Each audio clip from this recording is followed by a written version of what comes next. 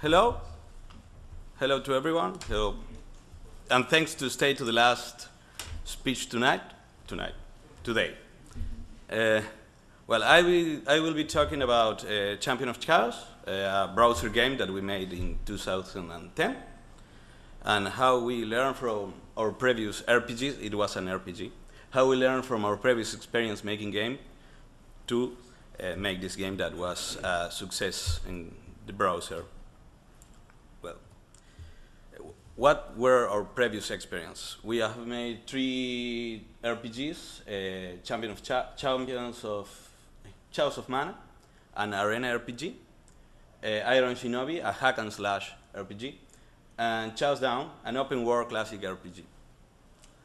Chaos of Mana uh, was a really linear and simple uh, RPG, mainly because uh, at that time I was really noob at making games, so I make it the more simple, the better.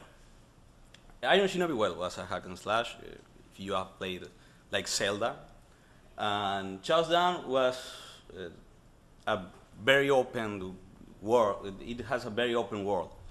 Uh, so it was very complex in that sense.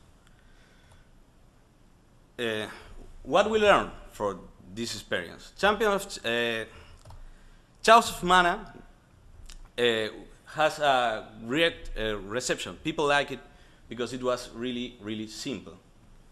So we learn casual gamers like it simple. The simpler, the better. If a game is simple, they can lose. The people who is playing in browser games usually they are playing at the office or they are playing in, in home and they are, don't like uh, hard mechanics or too or, or that the game is too oriented toward hard mechanics. So the simpler, the better. And casual players also love customizations. They, li they like to add things and stuff and, and change the hairstyle and change the name and change the, the, the, the eye style and etc. So they love customization. Uh, well, the, the game has to be easy and uh, has to have a story. People love the story of the previous games, and they remember it because they were full of story, uh, silly, silly jokes and stuff. Uh, that was uh, the challenge we face when making Champion of Chaos. Uh, it has to have a, a, good party performance because, as we say before, we want uh, uh, the game is uh, oh, sorry. we need to make a, a game really customizable, that player can customize the game. So we, add, we add like eight classes. So the, the player has to have a, a good performance choosing any kind of uh, combination, like a paladin with a mage have to work with a mage and a rogue, uh, and etc. So that was a challenge, make that the classes work even if they are like too focused on damage or too focused on tanking. Uh, voice and story performance, like this is a browser game. So it has to, uh, we, we would like to make it uh, with a full voices uh, story. But since it was browser, it has to, has, uh, it had to be uh, light he has to be light. So we will try to compress the sound. The much the better. And what rewards to give and what else to do on the game. Because the game is, as we say before, too linear, so it has to have a, a mini game or something. Uh, well, how we solve these problems? Uh, party performance, uh, we have three choices. Make the professional node uh, highly defined uh, like I said before, tank or damage dealer, uh, but uh, make each all the classes more or less the same. Or forcing the uh, the other choice was forcing the player to choose the tank uh, or and a damage dealer. Like if you choose a, a, rogue, you have to choose then a paladin or a warrior or a shielder. and, or the the third was balance the game to the death and make the boss tricky instead of uh, make the boss with a lot of HP, make it with tricky mechanics. And we went for the tricky mechanics. Uh, for voice and story performance, uh, we have three choices again. Uh, uh, we have to make the chart with a different story, but the game will be heavier. Uh, canceling the idea of the voices to develop more characters so we can add more story. Or uh, creating a side party that will make the voices and the, the story will be more generic. So we decided to go with the generic storyline. So it was only needed to record one story instead of like eight. Um, and uh, about uh, the, it says about story performance, but it's about what else to do in the game uh, and in the mini games. We decided to give, uh, we, we have three options that give money as, or as a reward on the mini games, give special items, or give experience uh, as reward. We decided to go with uh, give money as reward, so if you want to skip the mini games, you can skip and there is no problem. And the challenge as human group, as there were a lot of uh, characters to choose, there were a lot of spells to do.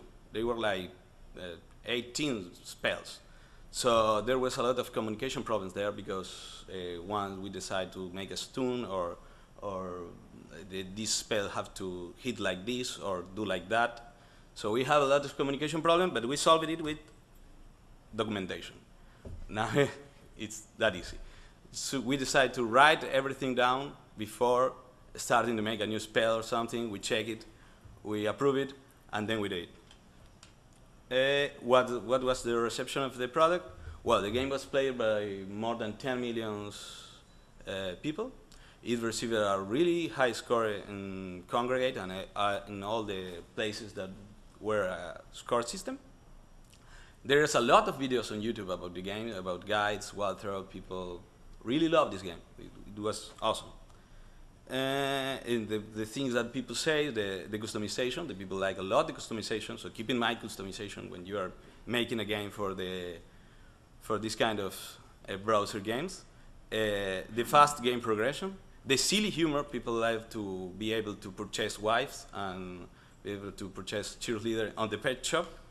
Uh, and, the, and the bosses, the bosses with tricks instead of a lot of HP and a lot of damage and well, the the plot. The people also love the plot and the story, and even some people here I, I meet that they recall the story of the game and they talk about uh, some burrito or something that the, the game has. Uh, the mistake we made: some spells uh, in certain in certain conditions were glitches. Were glitched. Uh, the last boss was too easy, uh, or the least but last was was too hard people say, yeah, people say, ah, but the last bosses before the were, so, well, that was the point. And some parties were too overpowered because, the, as, as before I say, finding a, a middle point it was too hard. So some parties were overpowered, but it was okay for us. Uh, what we learned? We learned that learning from previous experience gives results, uh, that we should use documentation, uh, that we must make a more smooth difficulty curve, and that casual players like it easy, and casual players like, like customization. So keep that in mind.